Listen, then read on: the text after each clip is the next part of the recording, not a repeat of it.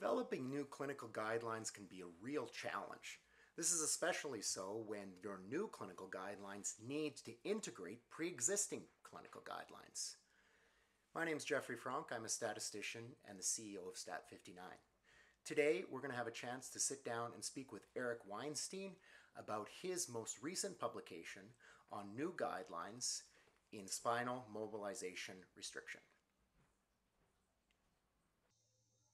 Okay, so Eric, thank you very much for agreeing to be with me here today. So Eric, you are an emergency physician, you are a graduate and now faculty at a master's degree in disaster medicine, researcher in disaster medicine, and associate journal editor as well. Does that uh, pretty much cover it?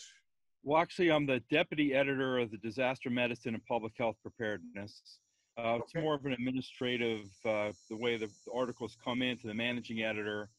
They go to the deputy editor, and then they go to the associate editor, to the reviewers, back to associate editor, to deputy editor, and then uh, a decision's rendered. So, Eric, today I wanted to talk about your most recent publication, which just came out last week in pre hospital and disaster medicine, which is a T2 translational science modified Delphi study, spinal motion restriction in a resource scarce environment. Uh, maybe we'll just start by having you tell us what's important about this study.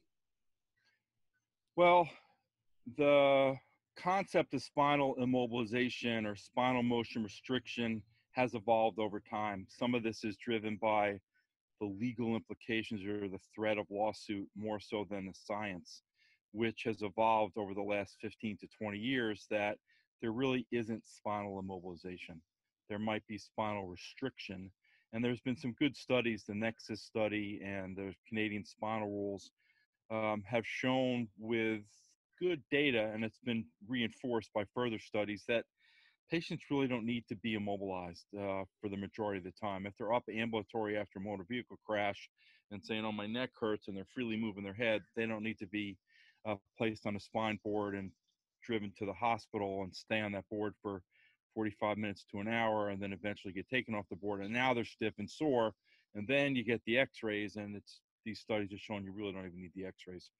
So this has been hard to adopt difficult to adopt in resource rich environments.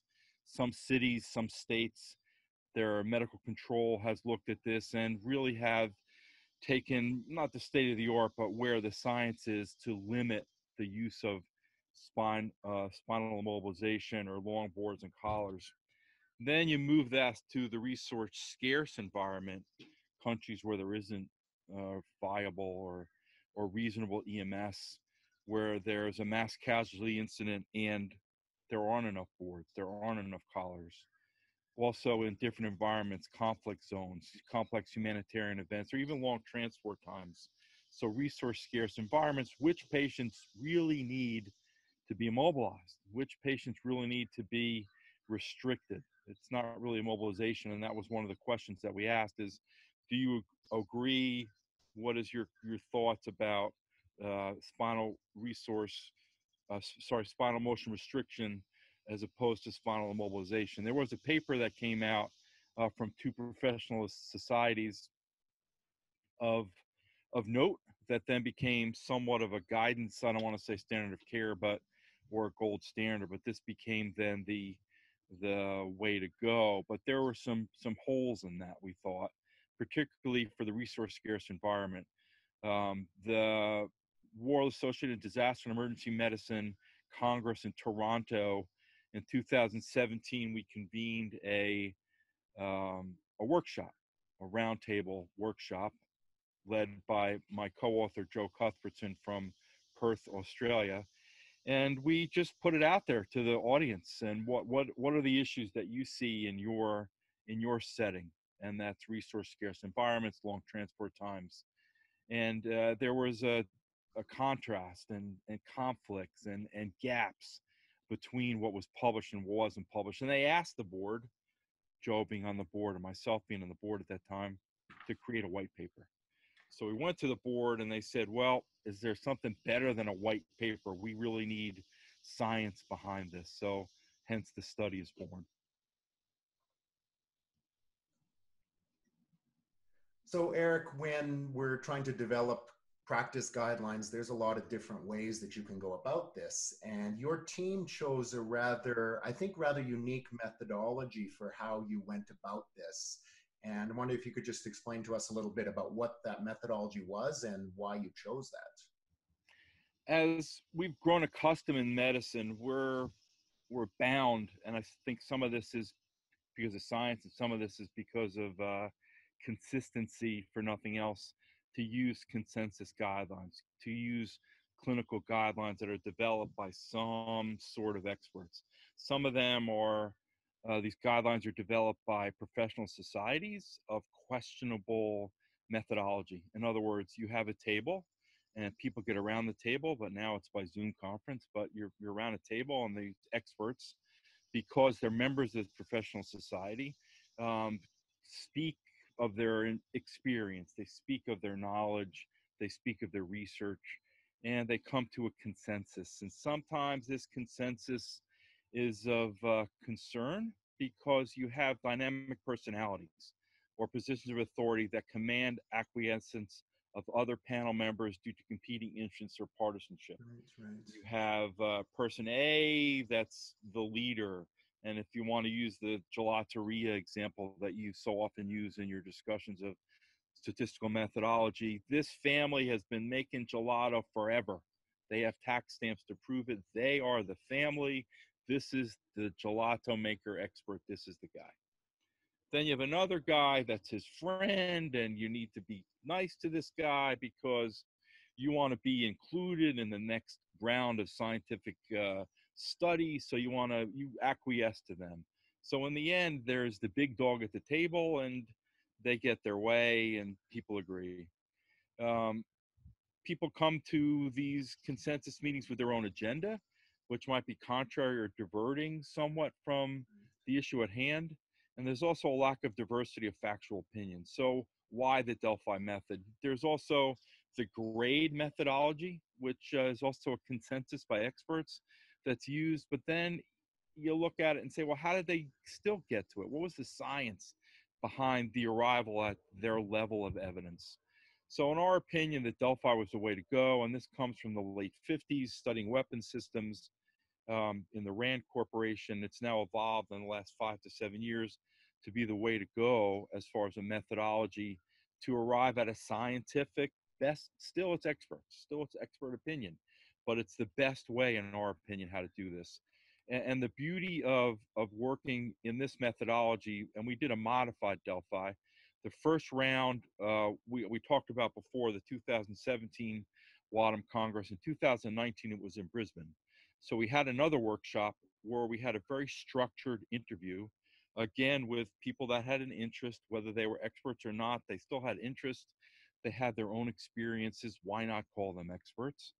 Um, they may or may not have published, they may or not be instructors, there may or not be uh, researchers in the field, but they came. They were our focus group. We had a very structured, uh, open ended question and answer session, and we created 10 statements um, from this session, and we used 10 statements from the um, article I, we talked about earlier by Fischer, and we created 20 statements. So that, that then became our, our first round of the Delphi. Then we went into the actual Delphi, and uh, where do you get your experts? So what we used were um, the experts that were authors in a systematic literature review. That I talked about Joe Cuthbertson from Australia. He uh, was a lead author. We published in pre-hospital disaster medicine a systematic literature review of this exact subject.